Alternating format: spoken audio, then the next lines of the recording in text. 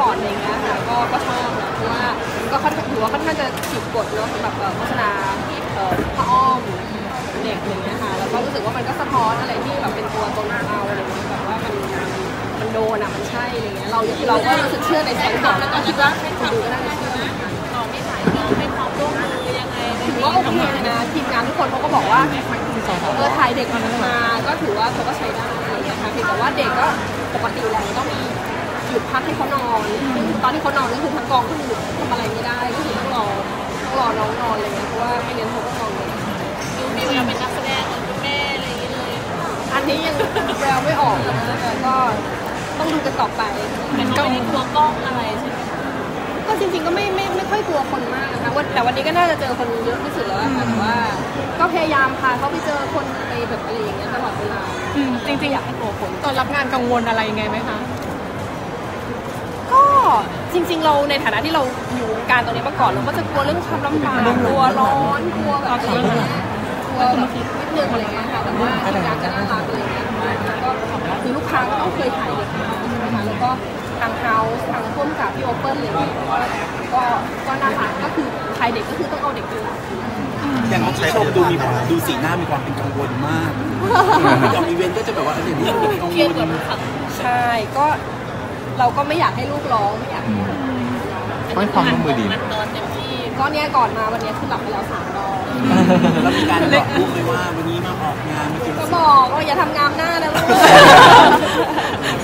น้องๆตั้งแต่เช้าเป็นไงบ้างคะแบบ ก็ก็ปกติค่ะ ก็เมื่อคืนก็ก็หลับตื่นตื่นกันแต่ก็ตื่นตามเวลาเขาอะไรเงี้ยหลับมาเต็มที่ เรื่องป่วยเป็นไงบ้างชุ่มเหมือนเรื่องกำหนดการครั้งที่แล้วมาต้องมาเป็นวันนี้เพราะป่วย ใช่ คือก็แม่ก็ป่วยลูกก็ติดแม่ป่วยกันทั้งบ้านพี่ก็ติดลูกอ่ายยายก็ติดหลาน อ่า เป็นกันทั้งบ้านเลยค่ะตอนนี้เป็นยังไงบ้างดีตอนนี้ดีขึ้นแต่ว่าคนสุดท้ายที่ยังไม่หายคือชมก็หายกันหมดแล้วค่ะรับ ก็วันนี้เห็นแบบผ่านฉลุยแล้วงานหน้าจะได้มีเห็นอีกไหม น้องๆอีกไหมครับพี่ อันนี้ก็ต้องแล้วแต่ละค่ะก็ต้องดูความเหมาะสมไปว่า ไม่ว่าจะเป็นเรื่องของสินค้าอะไรเงี้ย คือมันก็ต้องตรงกับไลฟ์สไตล์จริงๆอะไรเงี้ยมัน ก็คือเราก็ต้องเชื่อไม่งั้นคนดูจะเชื่อได้ยังไงถูกไหมคะแล้วก็เอ่อเพราะว่าวิธีการสื่อสารแบบอะไรเงี้ยอย่างเบบี้เลิฟเนี่ยคือฉันว่าแบบเออคือมันมันใช่เลยอะดูดูหนังแล้วก็ดู storyboard อะไรแล้วแบบว่ามันมันมันใช่เราอะนะคะคิดนานไหมคะตัวนี้ที่กว่าจะรับให้น้องแบบทำงานก็จริง ๆ คือคุยกันมาสักพักนึงแล้วอะไรเงี้ยค่ะแต่ว่าเรื่องของการถ่ายทำอะไรเงี้ยก็คือคงต้องต้องรอเขาโตหน่อยอะไรเงี้ยเพราะว่า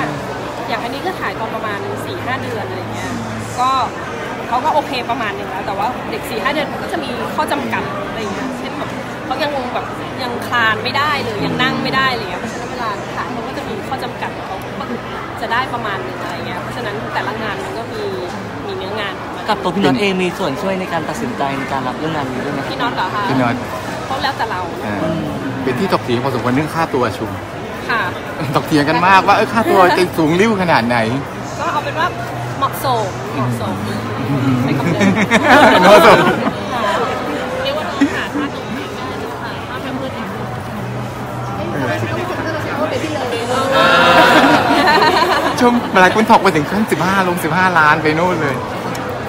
ก็เอาเป็นว่ารู้กันระหว่างเรากับลูกค้าแล้วกันนะคะแต่ว่าก็เป็นอะไรที่เหมาะสมเลยตั้งใจเก็บเงินก้อนนี้ให้น้องเลยไงคือจริงๆตอนแรกแม่กะจะอมนิดนึงแต่ว่า พอวันที่ถ่ายแล้วก็เออแบบว่ามันก็งานมันก็ไม่ได้มันก็ไม่ถึงกับชิวอะนะคือมันก็ไม่ได้ถึงกับว่าเอาเด็กไปทรมานทรกรรมนะแต่ว่าเราก็มีความรู้สึกเออแบบว่าเนี่ยลูกต้องมาเอาดออย่างแบบอะไรอย่างเงี้ยให้เขาหมดละกันอะไรอย่างเงี้ยแบ่งเปิดซึ่งจริงๆมันก็ควรจะให้เขาหมดอะตอนแรก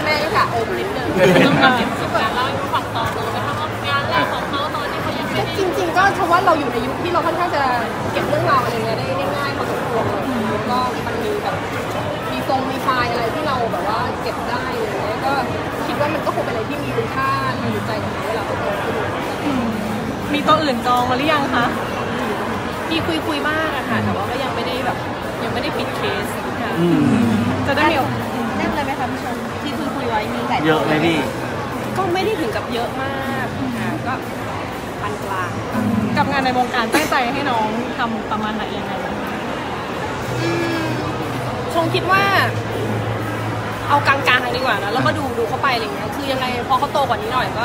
เรื่องแรกมันก็คงเป็นเรื่องเรียนมากกว่าเนาะแล้วก็ให้เขาแบบว่าเติบโตตามแบบตามวัยเขาอย่างที่เขาควรจะเป็นอะไรอย่างเงี้ยอย่างช่วงนี้จะเน้นเป็นงานโฆษณามากกว่างานก็จะเป็นงานอะไรที่แบบเออทำวันสองวันจบอะไรอย่างเงี้ยค่ะ อย่างอีเวนต์จะมีลุ้นให้เห็นไหมคะ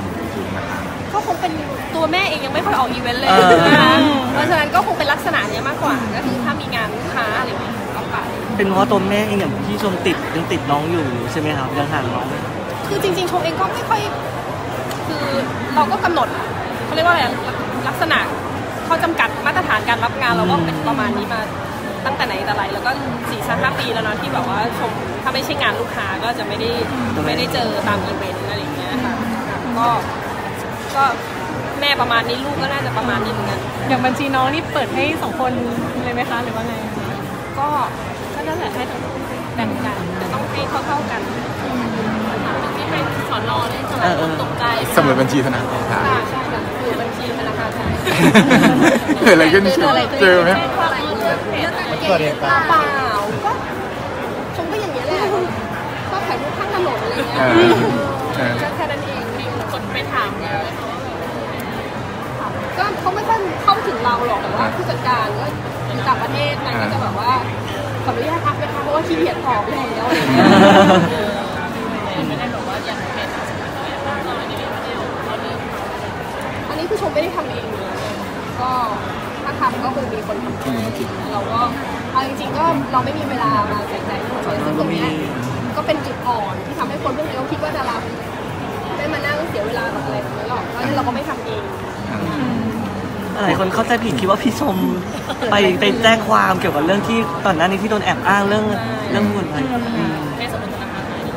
เจอยังไงชมเจอไม่เจอเอาออกเรื่องใหม่ไปเลยกลัวคนเปิดสมุดบัญชีจะเจอตกใจตัวเลขไหมชมตกใจตัวแรกอยู่เจ็ดร้อยแต่ว่าสอนอก็แตกเหมือนกันนะพี่ที่คุณตำตัวที่ตำรวจเขาบอกอะไรอย่างเอเงี้ยอ ตอนชมหรอ เออมีพี่ชมแบบจัดเต็มใส่ชุดอะไรอย่างนี่เงี้ยโทรไปเช็คที่สอนอไม่ใช่เขาพูดกันในคอมเมนต์อะไรอย่างเงี้ย อ๋อแล้วเราค่ะก็พอดีเพื่อนก็ถ่ายให้พอดีแล้วชมชอบมันเหมือนว่าภาพมันเล่าเรื่องดีอะอ่าชมชอบลงรูปอะไรที่มันแบบมันแคนดิดแคนดิดแล้วแบบว่าเออภาพเล่าเรื่องอะไรอย่างเงี้ยค่ะฝากไปไม่เลิกเลยค่ะค่ะ ก็ก็ฝากด้วยแล้วกันนะคะ ก็เอ่อใครกำลังจะเป็นคุณแม่นะคะ หรือว่าคุณพ่อด้วยก็ได้นะคะก็อยาก ให้เราเปิดใจกับเบบี้เลิฟนะคะที่ตอนนี้ก็คือเรามีไลน์ใหม่ก็คือเบบี้เลิฟเพียงเดียวก็ก็ฝากไว้ด้วยก็แล้วกันค่ะแล้วก็เป็นกำลังใจให้กับคุณแม่ลูกอ่อนทุกคนค่ะให้สู้ๆแล้วก็ผ่าน